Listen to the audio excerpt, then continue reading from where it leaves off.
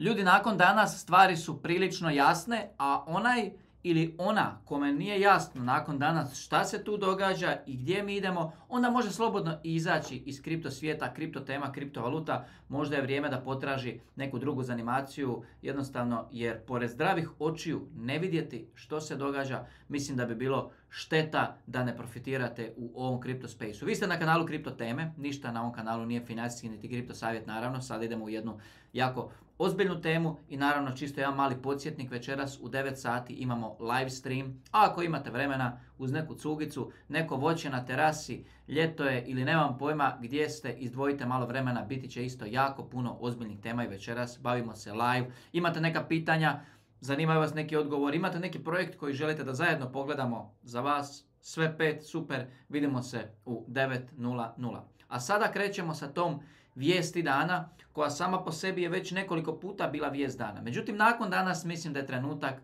da svi povežu, da shvate o čemu se ovdje radi i zašto je važno ukrcati se na ovaj vlak prije nego što bude kasno.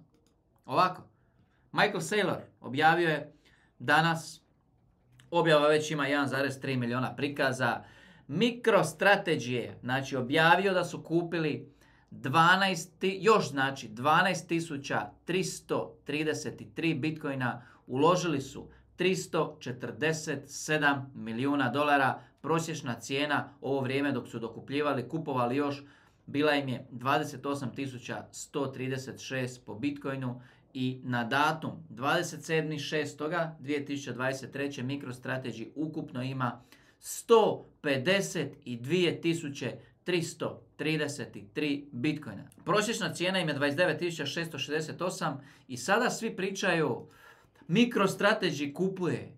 Jednog dana zamislite kad BlackRock krene kupovat, kad krenu ostali i sad moramo zastat sekundu. Važno mi je o ovoj temi e, dvije stvari. Vaše mišljenje, vaše mišljenje, što vi mislite o ovome, iskreno mišljenje, u komentar napišite ovog videa, molim vas, zanima me vaše mišljenje, čisto da vidimo što vi mislite o ovome. Što vi mislite o ovome? Da li vi kupujete Bitcoin? Koliki postotak vašeg portfelja je Bitcoin? Da li vi vjerujete u Bitcoin? Da li Bitcoin može biti ta lokomotiva koja će povući ostale? Da li je Bitcoin king, kralj, bog, numero uno, pa tek onda ostali ili zaista plivate samo po rubovima, hvatate mimare, šitare, altove, razno, razne projekte, brmble i tako dalje? Napišite mi dolje. Ovako, ono što je jako važno razumjeti je Vanguard, MicroStrategy, mnoge druge jake institucije već posjeduju Bitcoin, već kupuju Bitcoin. Kako kupuje MicroStrategy Bitcoin? Pa upravo ovako, upravo ovako. Mi smo to prošli davno.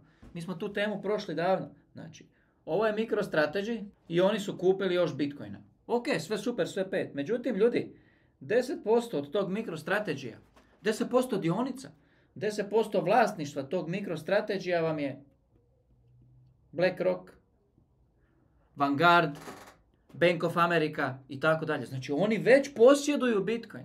Znači koliko smo rekli 152 tisuće, e, jel je? 152 tisuće komada ima. 152 tisuće komada i 333. To znači da 15 tisuća i 233 komada BlackRock i ekipa već imaju. Jer to je 10%. To je 10% od ovoga, a oni kontroliraju 10% vlasništvo BlackRocka, donošenje odluka i tako dalje. Što znači, ljudi, vi možda gledate vlak da je na stanici. Vlak je tu i vi računate ima vremena, krenut će on, krenut će on. Ukrcat ću se ja na vrijeme, ne bojim se ja. Međutim, tamo na, tamo na stražnjem ulazu, tamo na stražnjem ulazu u taj vlak koji, gdje se putnici ukrcavaju, vi kažete nema veze, ja ću uhvatiti ovaj kad dođe BlackRock. Kad dođe ovaj drugi vlak, BlackRock, neću u ovaj MicroStrategy. Međutim, u ovaj vlak se BlackRock ukrcava. I važno je da to shvatite, važno je da to osvijestite. Nemojte čekati onaj vlak koji se zove BlackRock, pa da svi krenu se ukrcavati.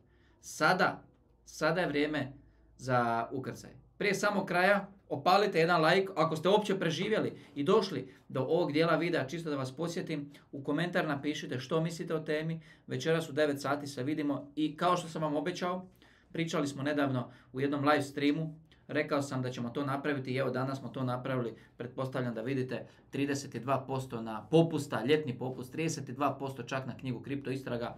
Link je u opisu ovog videa. Vidimo se uskoro.